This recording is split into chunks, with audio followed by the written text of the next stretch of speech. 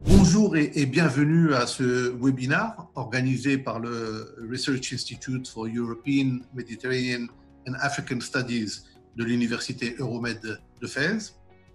Je tiens tout d'abord à féliciter l'Université Euromed et son président, M. Bousmina, pour le lancement de ce think tank si nécessaire pour développer des réflexions et des policy recommendations pour l'avenir de la grande région Europe-Méditerranée-Afrique, ce qui est dans l'ADN même de l'université. Merci donc pour l'opportunité euh, de nous retrouver euh, aujourd'hui autour d'une thématique qui est celle de l'avenir des relations économiques Maroc-Union européenne dans un contexte mondial fortement marqué depuis quelques semaines et probablement de façon durable par la crise du Covid-19 et ses répercussions socio-économiques.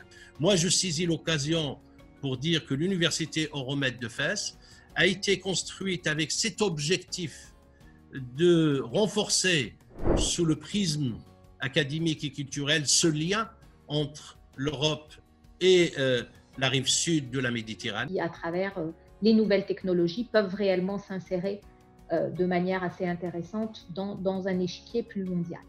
Donc face à, ces trois grands facteurs, ce que pense la CGM, c'est que nous ne pouvons pas les laisser continuer à, à, se, à diffuser ou à se développer de manière spontanée.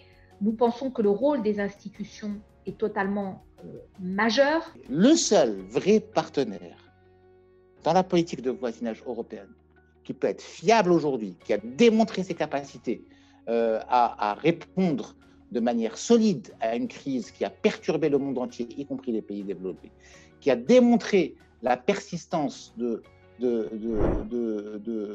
la cohérence de ses politiques et de ses valeurs à côté de l'Europe, c'est le Maroc.